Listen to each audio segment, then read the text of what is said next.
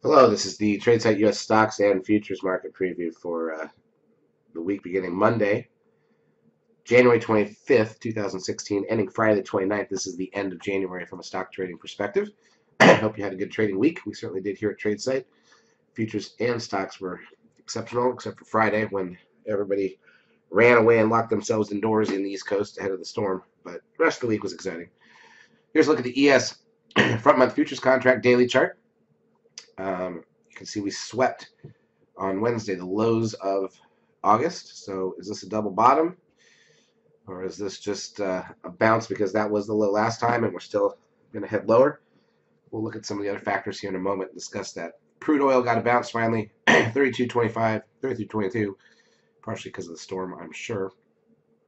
Gold was up 80 cents, not a big deal. So we had a big gap for the session and we'll show you the gap. The S&P ended up closing up 37, but the majority of the move was the gap itself. Nasdaq 100 up 117. Again, the majority of the move was the gap itself. SOX up 10. It's not a big deal, although it does put it back above that 10-day moving average. Biotech's up 93.61. The VIX was down 4.35. Now, I'll tell you, this is an interesting one to watch because the VIX did not get over 40, which is usually the capitulation zone. So that's the one thing I would worry about. Remember, we got over 40 for a day at the low in August. We did not get over it here.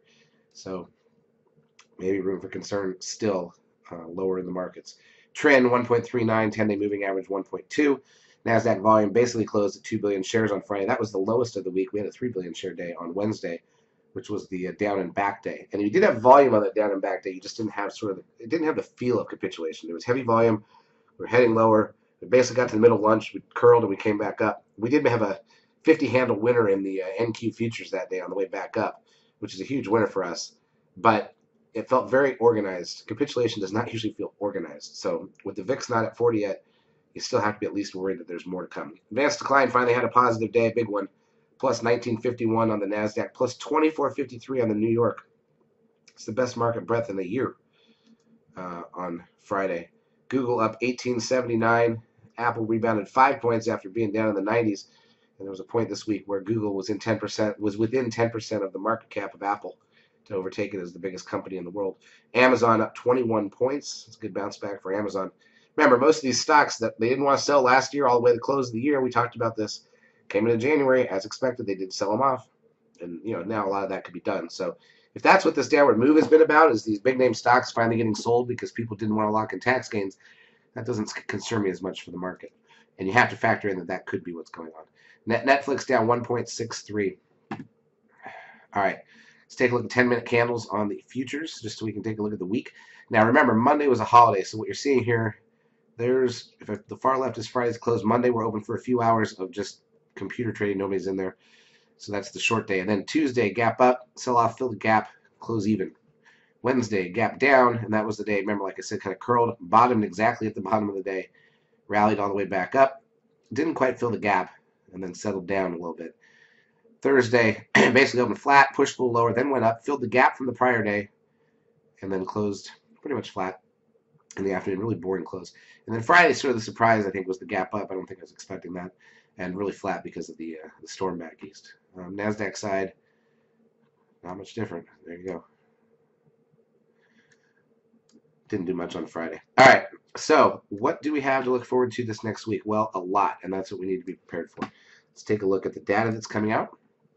Um, sorry, this is this week. Here's a look at next week. So Monday the 25th, no data. Tuesday, Case-Shiller 20 City Index and the FHFA Housing Price Index, along with consumer confidence 30 minutes into the market, which can move the market. Meanwhile, a two-day Fed meeting starts on Tuesday. And then we've got the MBA Mortgage Index on Wednesday, along with new home sales, crude oil inventories, that's the weekly number, and the Fed announcement at 2 p.m. Eastern Time. Obviously, nobody's expecting a rate hike at this point. Thursday, initial and continuing claims, durable orders, pending home sales, natty gas. and then Friday, another big one. Friday, we have uh, the advanced look at gross domestic product for um, the month of, I'm sorry, for the fourth quarter. That's a big number to cause a gap on Friday comes with the employment cost index, and then 15 minutes in the Chicago PMI, and a half hour in the Michigan sentiment number. So at least early Friday could be exciting. Of course, how do we really look at this week? Well, with the Fed announcement, you know, let's say this storm is as bad as it could be. Monday could be a little bit unexciting in the markets.